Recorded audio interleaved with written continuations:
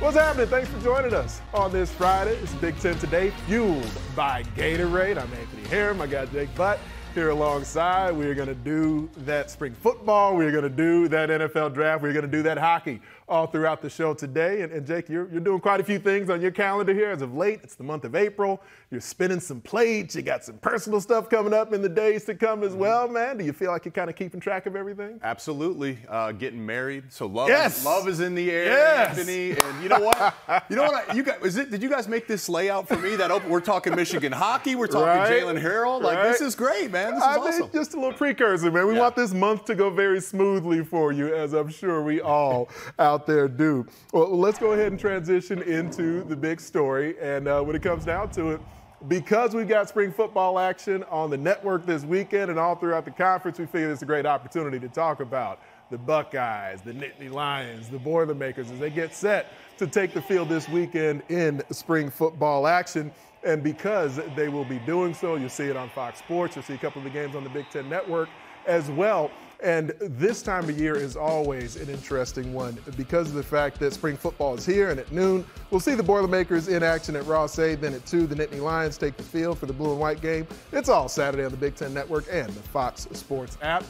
And with that in mind, let's start off and just kind of preview where all three of these individual teams are at right now at this point in the spring. Now, Purdue is interesting because they're they're actually going to continue practicing, but most of the teams who take the field will be sort of closing their spring endeavors this Saturday. Let's start in Columbus with Ohio State.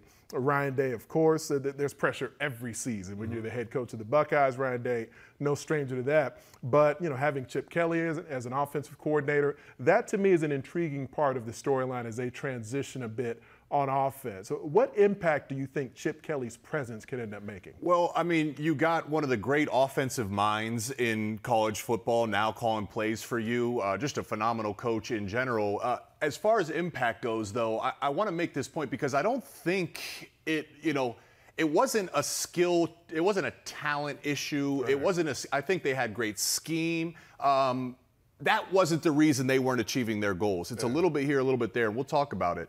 But what, what, I'm excited to see is what new wrinkles. This is not going to be a brand new offense. It's still going to be that Buckeye offense you're used to seeing. But what new wrinkles? And to transition then, who's going to be the quarterback? Yeah. Okay, we'll talk coordinators and we'll talk quarterback. If it's Will Howard under center, the veteran, they brought him into the transfer portal. He can run now. He can run. So, do they have more quarterback runs in their base play package than they did when Kyle McCord was under center? But I'll tell you who I'm really excited to see I know the, the buzz in Columbus is about Julian Sayin, the freshman. I mean, he, he got his black stripe removed. Yeah. Ryan Day is talking about him. So I'm excited to see those two guys compete. And you just go down the offense, Anthony. Jeremiah Smith. I mean, you, you've seen the tapes. Uh-huh. You've seen the. Uh-huh. They, they, that is a talented Buckeye receiver room, and they talk about him like he's already the top guy on their roster. He is a stud. I can't wait to see him. And, and, truly, is this the best running back room in the country, not just the conference? TreVeyon Henderson and, and uh, Quinshon Judkins. Um, I, I'm all excited to see that. But we had a graphic there at talking about the defensive side of the football. Mm-hmm. Of course, the quarterbacks will dominate the headline. But to me, I can't wait to see year three of Jim Knowles. That's a, I've been saying this, it's a very complex, aggressive, downhill system. So in year one, you're learning terminology. You can't go too deep. Well, they took a big jump last year, uh, one of the best scoring defenses, total defenses in the country. Now, year three, this is your language. Mm. Now you can start to understand why coach is calling something in certain situations. You know what your responsibility is as well as the others around you, which allows you to play fast. And they return a bunch of guys on defense, but in, in Jim Knowles' defense, safety is a key position.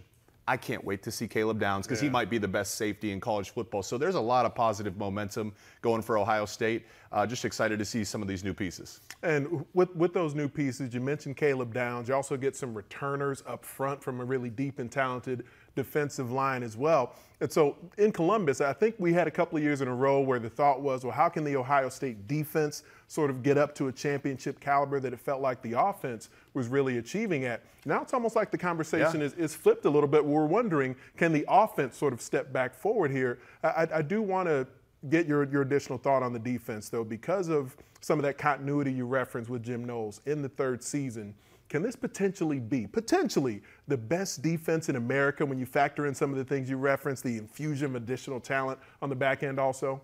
If you're saying potentially, yeah. absolutely. Like if we're going to have a conversation and just close our eyes, say who could potentially be the best deep, Ohio State is in that conversation, absolutely. And if I was those guys in the locker room, and if I'm Jim Knowles, and if I'm Ryan Day, I'd repeat that to myself every day. They, they have earned the right to believe that, absolutely. They returned a bunch of key pieces back on defense. JT Tuimoloau, uh, Denzel Burke. You went yeah. to the transfer portal and added talent. And again, uh, there's a progression that happens with complex defenses it's the same thing when Jim Knowles was at, was at, Oklahoma State. Look at his defensive rankings year over year. They improved every year. And to me, that's a signal of guys starting to understand the complexity of this defense.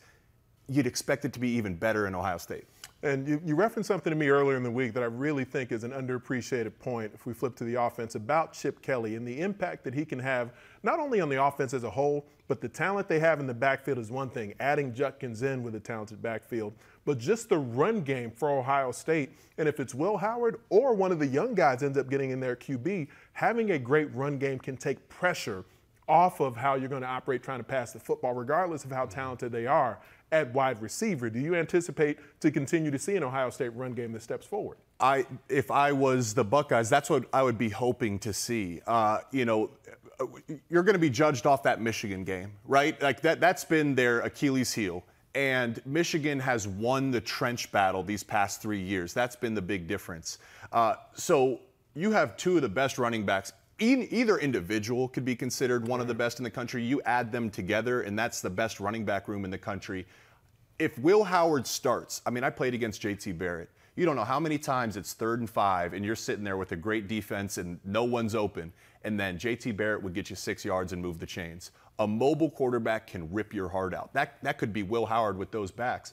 And I think when we think of Chip Kelly, we, we think of explosive offenses, and naturally you almost just go straight to the passing game. But he's put together some really productive rushing attacks as well throughout his entire career. So I would expect to see new wrinkles. I think they can, it took them a while to find their uh, rushing identity last year. Yeah. I, I would expect them to have an identity going into year one. And to put a, put a bow on this, we, we talk about the skill positions in the headlines the, the offensive line, I think, will once again dictate the ceiling of this team. If they can be dominant, that's going to benefit them.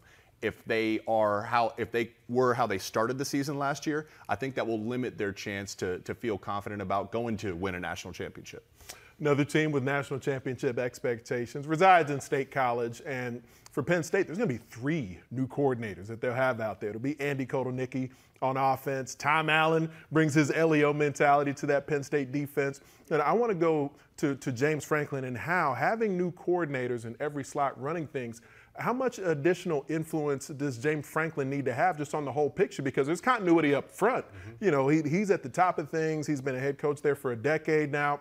But when you have new coordinators, new voices, perhaps new schemes implemented, then how much does James Franklin need to make sure that those players feel that things are still moving in a fluid manner? Mm-hmm. Well, he's the architect, and particularly this time of year in spring ball, and it's going to apply in fall camp. Like, it's your offensive scheme versus your defensive scheme. And Manny Diaz ran an exotic defense. When you played Penn State, when he was their defensive coordinator, you were going to see that type of defense once a year, hmm. right? So your Penn State's offense had been going against an exotic outlier in terms of defensive scheme all offseason. And I do think there's something to be said that that can limit your exposure to defenses you're going to see more commonly throughout the yeah. year. Where Tom, it's going to be a new new scheme on both sides of the ball. Tom Allen, though he likes to be aggressive, has a different defensive philosophy in terms of scheme than Manny Diaz. So for James Franklin, the value now with all these new pieces is structuring practice in a way where it can be competitive for both sides of the ball. So it's you never want one side to be too dominant. You want a little back and forth. You want you want some competition going. And then all of a sudden the locker room is going to be saying, "Guys, we have a team. We can go get this done." So the quarterback position and Drew Allar, there were big expectations going into last season. I almost wonder if the expectations statistically will be a bit more tempered this year. They do add Julian Fleming, who was the number one receiver in the country as a recruit, didn't completely break through in Columbus, so they get him in to State College.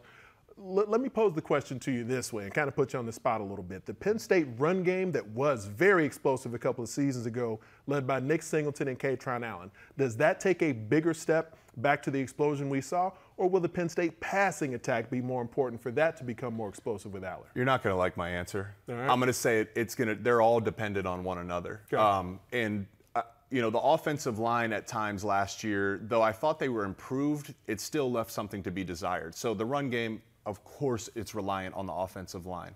But the run game's also reliant on the ability to throw the ball down the field. Because if teams don't believe you can stre- uh, you know, stress them vertically, if teams don't respect your ability to attack their corners and their secondary one-on-one, you can load the box, which then limits your ability to, to run the football.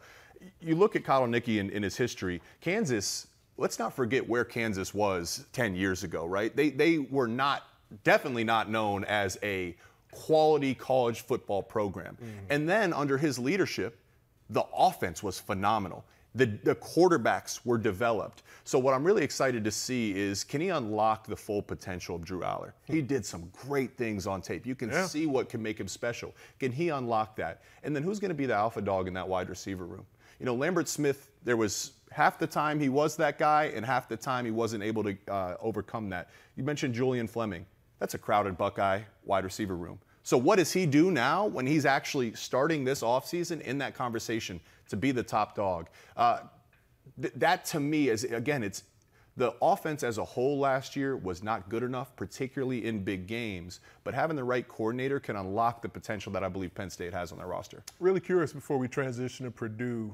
Abdul Carter moves. He transitions from Penn State, being an off ball linebacker. Now he's going to be a defensive end. A player of that talent, that ability, is that. Is it a risky move for a guy who was already productive at one spot? Yeah, you know it's really interesting because we'll talk about Purdue where they got they got Kydron Jenkins their outside Right. line and they moved him back inside and they say that's you're off the ball you can make more plays. You know we're you're an edge rusher if there's a great edge rusher I mean we played against Joey Bosa back at Michigan we're running away from him. Uh, you know what I uh, mean? We're gonna right. you're gonna get away from him and yet at the same time when when you do have a guy like Abdul Carter a, a great edge rusher can wreck a game. If you can beat a tackle consistently and that quarterback doesn't feel comfortable in the pocket, part of the reason Michigan ran the ball 30 times to end the game last year is because no one could block, block Chop Robinson or Adisa Isaac coming off the edge. So there is risk, but I, the defense has proven that we should trust what they got going on out there in Penn State. So I'm excited to see the move, excited to see what he does. I'm very excited to see Ryan Walters in year two and West Lafayette. And for, for him as, as a coach now, he's infused a lot of talent. This is a top 10 transfer portal class that he brings in as well. So for him in his second season, having more competitive depth in this spring, he's talked about, I spoke to him earlier this week about it being a more physical spring than they had in the past. How big of a difference can that make? Not just that the roster overall is deeper. Yeah, night night and day. Uh, they had 60 guys on their roster last year at this time. 60. Now they got they got nearly double that. I mean, that it, it's already hard year one because you're learning the names of the your teammates and your coaches. You're learning the names of the scheme. You just don't have a chance to build that chemistry and go too deep. And then you go from 60 guys to 80 guys. You're trying to build your roster all the way through summer and through camp. It's just a lot of change. Well, now you have an established roster, and he, he shared the same sentiment. Uh, offensive line, Graham Harrell was telling us towards the end of the season, like they didn't have six healthy guys that could play a full Big Ten football game. Mm. Now they're three deep. Okay. They brought in a bunch of new guys in the portal. Their average size of new offensive linemen is six foot four, 315. Hmm. So they're deeper, but they're bigger, but they're stronger. Hudson Card added 20 pounds. You know, we, we heard the buzz about him last year and his potential. What does he do? A bunch of new wide receivers in the transfer portal. Excited to see that. And then on the defensive side of the ball, that's Ryan Walters' specialty. They were good, and then there'd be a handful of plays last year that just killed them. Yeah. Well, they have raved about the pieces they've got, particularly in the secondary. I'm just saying we got to keep our eye on Nyland Green because without hesitation, you know, coaches like to like to slow play it a little bit. Maybe right. they don't, they don't want to set too high of expectations. That's not the case with Nyland Green. They think he can be one of the best corners in this conference, and that's Ryan Walters' specialty as well. I can't wait to see it. And at receiver, you know, they lost a number of the guys who made plays for them last season. There's an infusion of new talent that lines up there on the outside also. And you referenced Graham Harrell. we know what his version of the air raid can be. Is, is it a type of system that you see receivers being able to transition into quickly, especially when experience returns at QB? It's a great question this air raid system is different. Uh, my, my time at Michigan, you know, being a pro style, if the if the sheet said 15 yards and come back to the quarterback, you had to be there 15. Whereas that's still true in the air raid system. But part of it, there's a little bit of fluidity where the, the quarterbacks and the receivers have freedom to change things on the fly. So what's really key there is having a relationship and chemistry. So yes, they have a bunch of new pieces, but another thing that they both Ryan Walters and Graham Harrell mentioned was Hudson Card's leadership and communication. They said last spring he was a little bit hesitant to say this is my team. This spring, he's stopping practice. He's going over to the receivers and saying, I need you here right now. Mm. He's changing protections. He's talking to the tight ends. So I, I think to answer your question in a long-winded way, yeah. uh, it's dependent on Hudson Hudson Card as a quarterback to be the leader of these guys. A lot of work in progress can get done, not just in spring ball, but in May, June, July. You want to come into camp with that chemistry already in place, and now you're going to work it against a defense. I do want to say, uh, make a bold prediction here. Okay? okay? I'm all ears, man. What's up?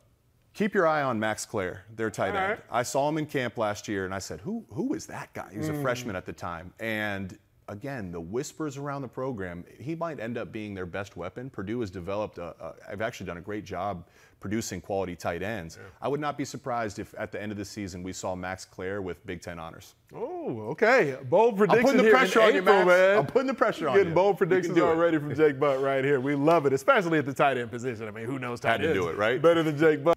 A lot of moments in that game where Michigan was still in the mix, but on the whole this season, third consecutive Frozen Four appearance responsible for the top six point scorers in the Big Ten, five of which were sophomores. So the potential for a lot of the roster to return intact after losing a bunch of talent to the National Hockey League last season. We saw Dylan Duke led the Big Ten with 26 goals on the season and had the Big Ten Player of the Year, Gavin Brindley, as well. Let's go back out to St. Paul, where Rick and Cappy were there to put a bow on things. Anthony, thanks. The Big Ten season, Michigan season, coming to a close on Thursday night with the 4 0 loss to Boston College in the national semifinals. Paul Caponigri and I were here to watch it. And Cappy, it just seemed like every time Michigan offensively tried to get going, Boston College had an answer, whether it was blocking shots yeah. in the slot, whether it was Jacob Fowler turning away shots from the Wolverines, who had 32, 10 more than Boston College in this game. Michigan could never really get the offense going that they wanted or the offense that had served them so well through the course of the year. Yeah, and it's funny because I think talking about this game leading up, we thought all offense, right? Even with Boston College, the number one, number one and two offenses in the country, the power plays, everything. But I think this game was won on defense for Boston College and in goal. You said those numbers of shots, the 71 shot attempts to 40 or 73 to 41 Michigan over Boston College. Like the numbers, a lot of the numbers tell you Michigan maybe wins this game, or it's, or it's on the scoreboard, or it's a three-two game, you know, something like that. But Boston College, in the end, they they capitalized on mistakes, and then they played really well in front of their net you you we hit on this as we you know as the game was going on last night that it just they looked like they just frustrated Michigan, and it affected their shot quality. Maybe the attempts they took weren't as good as they taken in the season all season long, and it's because BC I think frustrated them, and, and kudos to them. I think one thing that frustrated Michigan fans throughout a lot of the year, and it was something Michigan solved late in the season, yep. untimely penalties and undisciplined play. Sure. That happened at really critical moments on Thursday night, including Michigan had just gone on a power play. Yep. They take a penalty. They wanted to stay five on five, avoid special teams. I know four on four is officially even strength, right. but it was that four on four stretch in this game when BC scored twice and basically put the game away. Yeah, and ironically, again, that's somewhere that Michigan salivates usually when they're on four on four. And I just they, they played a the number one team in the country. They didn't have any weaknesses. Like they didn't have a fatal flaw you could exploit. And then when you thought a a Michigan four on four where they would elevate, you know, they stumbled and gave up two within a minute of each other that really just deflated. The second goal going off the skate and in, you know, those types of goals are tough ones because you look up and then you're like, what, we didn't do anything wrong. What happened? We score, they scored on us. Um, and then they get another one after that. Cutter Gauthier, you know, 38 goals. You can't give that guy breakaways. So the special teams, they couldn't get the power, 35% power play. BC did a great job of cross those cross ice passes, those seam passes that Michigan loves to make. They were blocking those. They were frustrating Michigan, and it, you did not see that all year from Michigan. It's a frozen four for a third straight year, but also a third straight loss in the national semifinals. So I think the outsider in the college hockey world says, well, the year was a success for Michigan. Right. How true is that statement? Uh, I mean, if you're asking me, I say yes, it is. Are is is that locker room last night? Are they feeling like success? Probably not. Getting shut out. A lot of guys have been 0 3 in the Frozen Four, but they have Big Ten championships. But at Michigan, they're looking for that national title. It's been since 1998. They have nine national titles, tied for the most. We'll see what happens with Denver on Saturday night if they take the lead with that. But they're they're at the point now and they're getting the players, the kind of recruits they have there. They're trying to win national titles. So, yes, you'll say a lot of successful, a lot of happy with a lot of things, progress from players. But in the long run, you get shut out in the Frozen Four. You're not going to feel like it's a complete success. Big Ten season as a whole. Michigan makes the Frozen. You have Michigan State going to the regional final before falling to the Wolverines there after winning the Big Ten regular season Right. and tournament title. Wisconsin and Minnesota also make it back to the NCAA tournament. What are the biggest takeaways from the season as a whole inside Big Ten hockey? Yeah, I think the the you saw Michigan State coming. You didn't know how fast it was going to come, and uh, same with Wisconsin. And I think they both elevated, and they're like I've talked about in the past. They're putting pressure on the other programs now. With with with Mich- Michigan and Minnesota, know that these guys are here and they're here to stay, and they're going to put pressure because it becomes recruiting battles too, right? They're going to go after the same players, and now there's not one or two teams they're battling within just the conference. Now they're talking about four or five teams, so that's going to make it dynamic, and I think it's going to make the league better. Uh, the coaching has never been as good as it is right now, from one through seven, and I'm I'm excited for the future. Obviously, the Big Ten needs to find a way to get that first national championship, but I think how competitive the league is getting. Just think about where we started. You know, we were happy to get one team ever in the Frozen Four. Now we've had con- three years consecutive, five teams total in the last three years make Frozen Four. Now it's time to finish that off. And I think we have the coaching, and you're going to get the recruits to do it. It's just a matter of time. Oh, the recruits are coming, but also some decisions are coming in the days and weeks to follow this Frozen Four because Michigan is a team loaded with draft picks. We saw Minnesota's Jimmy Snuggerud decide to come back. Coaches now can really get out into the transfer portal, try to bolster positions that maybe they need a little help in. And we have no idea what happens with these guys. Some we expect to go, actually stay. Some we expect Stay to tuned, stay, right? Actually, I mean, go. we might know by the end of the weekend on a lot of The things. season is over, but the drama is not. It's been a great season doing it with you, my man. awesome. As we wrap things up here from St. Paul, Anthony, back to you in Chicago. It's always fun to watch Wolverines highlights, but especially when they're coming off a national championship. This is our big stat, fueled by Gatorade. And as we prepare for the NFL draft, a lot of Michigan men expecting to hear their names called. Here's what it looks like in the modern draft era, just all time over that time frame. Various programs around the country and how many players they've had drafted. Michigan, well into the top 10 there on this list. 289 players in the modern draft era have been drafted from the University of Michigan. And that brings us to our big interview with the leader in sacks from the Michigan Wolverines and an individual who not only statistically on the field was spectacular, but also all Big Ten in the classroom as well. That is Jaylen Harrell. And Jaylen, you've been getting ready for the National Football League. You finished the season. You're doing the All Star Game circuit. You're doing the combine, all these other things. It, it can be a bit of a whirlwind, man. How's this whole process treating you? know, it's going good. You know what I'm saying? Uh, you know, our season went long because, you know, we was a national championship and whatnot. But, you know what I'm saying? Uh, it's been great. You know what I'm saying? Uh, after the after the season, you know, I went straight straight to training down in Florida. Uh, you know what I'm saying? They got ready for the uh, All Star game, the Senior Bowl. Then after that, I had to get ready for the, the combine and pro day and whatnot. So it's just been a real constant grind and constant, uh, you know, just continuing to get better every day. And the Senior Bowl specifically, I mean, that, that's a game with so much history behind it. It's probably the most renowned postseason All Star game. How exciting was it when you got that invitation? You know, it was real exciting. You know, uh, something I dreamed of. You know, just going out there competing with the best of the best and uh, just showcasing all your abilities for the uh, top personnel, uh, just battling with the, uh, the good people the, around the country. And one thing that you become known for throughout your career at Michigan was big plays in key moments. And we remember the, the moment that closed the show against Ohio State as you guys capped off your third consecutive win. It was the Rod Moore interception, but your pass rush in that moment, what you did to pressure the QB, was a big part of that as well. And scouts are going to see that on film. Take me back to that moment. Break that play down for me.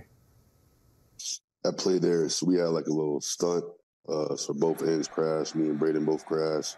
And uh, the D tackle was wrapping around for contain. So kind of t- took a couple steps upfield, uh, sold it inside, and then kind of just, you know, he had to get out the way. So I had to run him over. Then uh, he kind of held me a little bit, so I was falling down. And then I was trying to do my best to affect the throw. And I feel like I did. And you guys, especially your recruiting class coming in, you know, you've been a group that's now been able to three years in a row take down the Buckeyes, and you cap it off with that national title. The, the expectations that you had individually coming in, I remember reading a bit about a recruiting visit that you took. The last time Ohio State had defeated Michigan, and just the feeling you had in that moment, seeing the Buckeyes leaving the field victorious. And it seemed like you were a little bit kind of convicted in that moment, thinking you could be a part of what would come in and change things. Uh, take me back to that moment and what that mentality really kind of developed in you. Word. So, you know, coming back, you know, uh, was it 2019 when I came to the Ohio State game? I was playing in the big house, you know, seeing us. Well, obviously, we lost or whatnot, but I could just feel the culture. I could just feel like there was more to be done here at Michigan. I feel like our 2020 recruiting class could, you know, be be a part of something special. And I feel like we, we did that and the NFL process right now as it plays out here. I'm curious because you have gotten to get interviewed by a variety of teams. You've gone through workouts multiple times at this point. What are some of the things you're hearing about scouts? What sense are you getting for how they're viewing you right now? Oh, you know, uh, you know, teams like me, uh, I feel like everyone likes you, but do they love you? You know what I'm mm-hmm. saying? So kind of got to get a gauge. But right now, I feel like, you know, everyone, everyone likes you of some sort, but you got to, you know, navigate your way and find the teams that really love you. And as you go through this process, a lot of times teams are not only breaking down the film itself for you as a football player, but trying to get a sense for how your career ended up developing. And one thing you went through as a defender, you had three different defensive coordinators throughout your time in Ann Arbor as well, playing with the Wolverines. Is that the type of thing that you think can be become a positive for you as you transition to the NFL? Uh, most definitely, you know, uh, you know, start out with Coach Brown, then we uh, transitioned to Coach Mike Macdonald, excuse me, and then Coach Minter. Uh, you know, those last two quarters I had, they were a very big uh, pro scheme. So I feel like, you know, playing in those, uh, the, the, similar schemes, or really the same scheme, uh, really prepared me for the next level. I was reading a bit about just the the impact that your mom has had on your athletic journey, how how you know sort of effervescent she is as a sports fan, how energetic she is about a variety of things. Give me a description of your mother, and in what ways has your mom ended up impacting your football journey? You know, my mom, uh, she's my everything. You know what I'm saying? She's very passionate in football as well. It's kind of funny. She always watching NFL Network or I was watching some about sports. Like every time I come home, she got something on the TV. You know what I'm saying? She's just very energetic. She loved the game as well. And she's just been such, you know, uh, integral part of my life. And I just want to do everything I can to repay her. And your dad, of course, played professional football, had a pretty lengthy career in the NFL. Right. Does the knowledge that you've gained from that and from his journey, does that even add and enhance the confidence you have in going through this process? Uh, definitely, you know, uh, always get a couple pointers from mom and my dad. Like you said, my, my dad went through his process uh, a long time ago, but know I'm saying? He's got some knowledge. He's been around the game a lot. So, you know, I always like to, you know, keep my ears open. As you helped lead the Michigan Wolverines to a national championship, you know, the Alabama victory was one thing, but there was a Tampa connection that the nation got a glimpse of as well that I think kind of gave people a unique look into your personality, your character after the game. Kind of a stolen moment where Michael Penix, after you guys had battered him around throughout the game with that exceptional pass rush you guys had coming from Ann Arbor, you made sure you, you chased him up the tunnel essentially as he was kind of leaving the field, holding his ribs, and he, he had his face uh, draped in towels. But you wanted to make sure that you took that moment to just kind of share some congratulatory sort of you know exchanges with him after the game. I know you're both from Tampa, but what went into that decision for you to do that? You know what I'm saying? Uh, we both from the same city.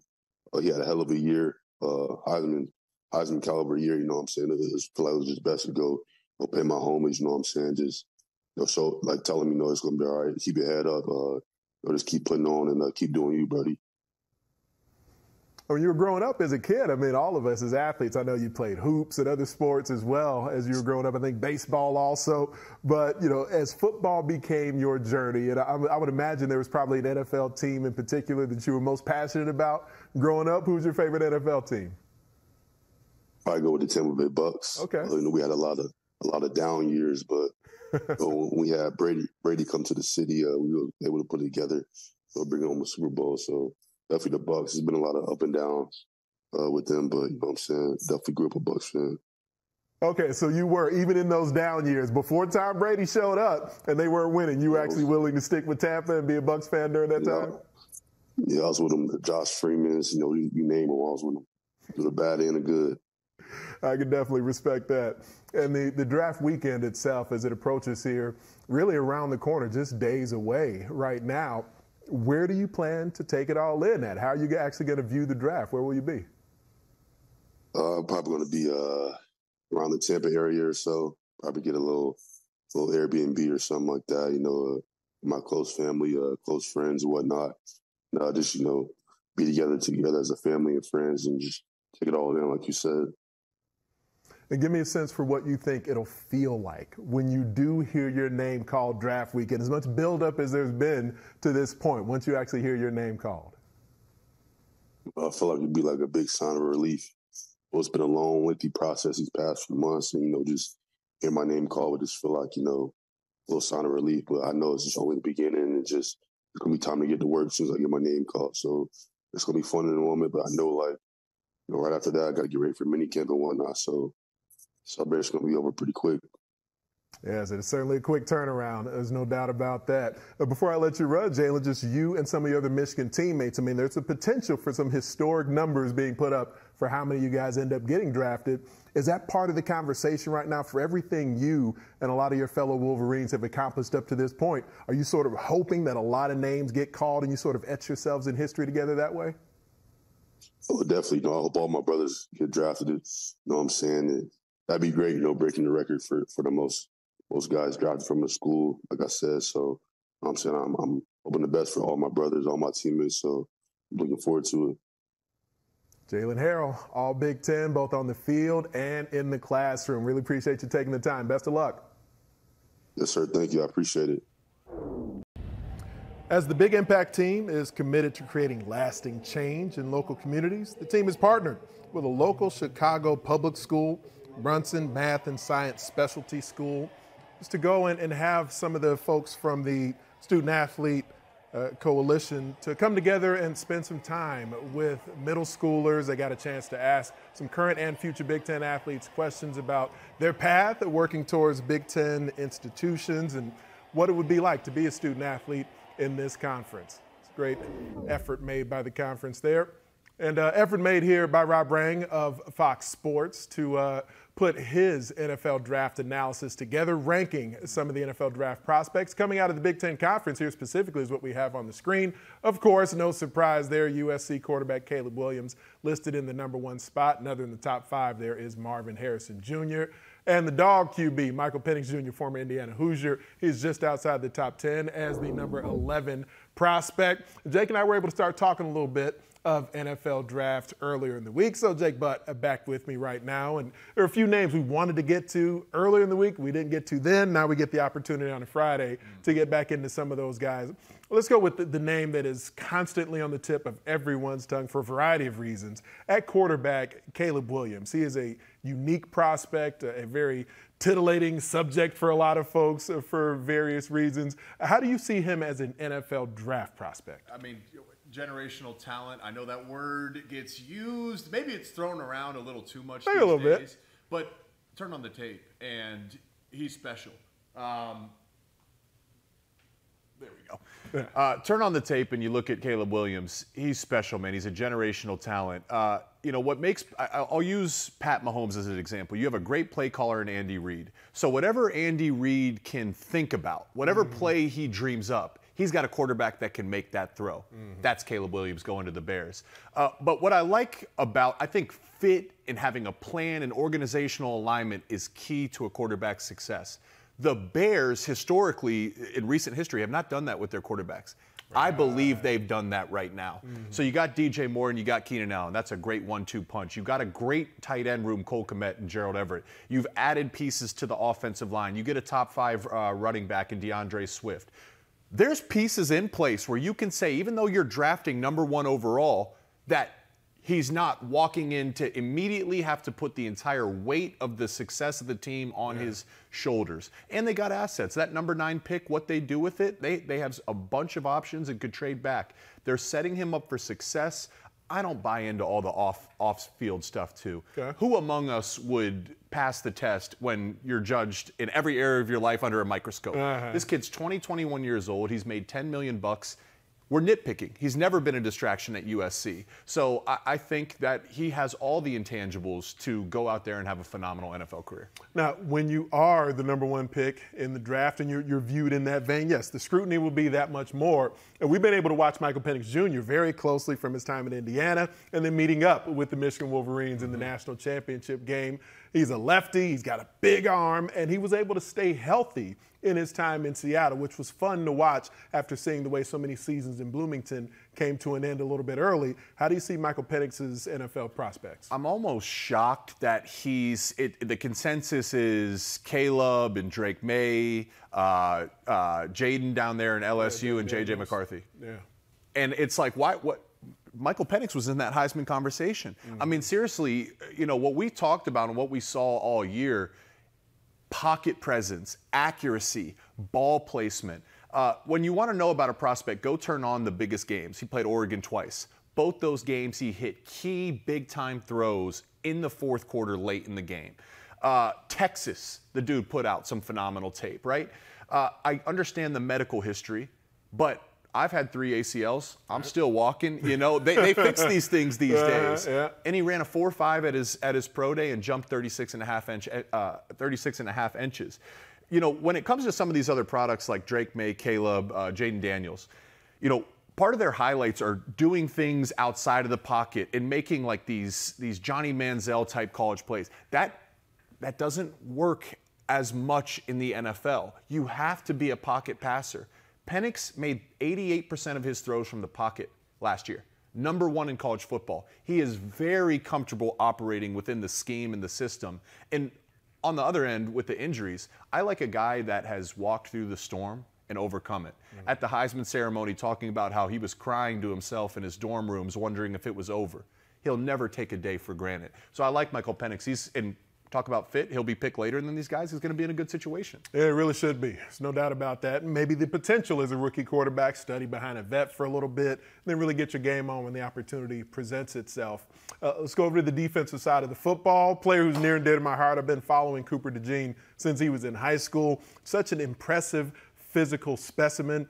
And I think on the whole, the, the way that we end up looking at him just as a prospect, I'm wondering whether or not you see him as a safety or a mm-hmm. corner because that is part of the conversation. Why not both? Uh, and maybe that adds to his value. Mm. I think there's some people that are telling on themselves when they say, I wonder if he's athletic enough to be a corner in the NFL. You didn't watch tape, if that's hmm. the case. Runs a 4 4 at his pro day. Two weeks after being cleared, he jumped 38 and a half inches. He's a phenomenal athlete, an excellent uh, basketball player in, in, uh, in high school. And Kirk Ferentz has coached a lot of great players. He said Cooper was the best he's ever coached. Seriously, think about that statement fit matters for him. So how about I, I want to just present this. The Colts have uh, pick number 15. They run 70% zone coverage, the highest in the NFL. What I love about Cooper is we talked about the athleticism. It's the instincts. You see that on special teams. You see it when he comes down and makes an interception and then takes it back to the house.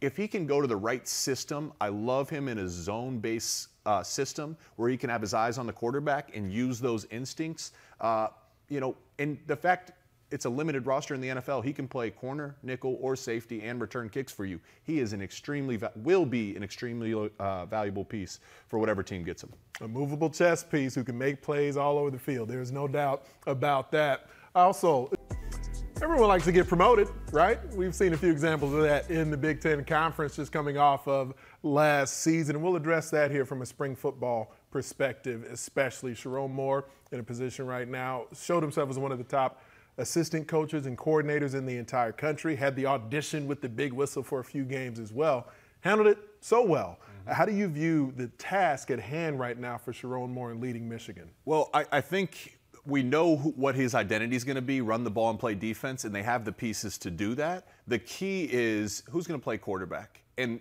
no one's quite separated. The other thing that I would look for is leadership. Mikey Sainristil, J.J. McCarthy, Blake Corum, uh, Mike Barrett, a couple guys.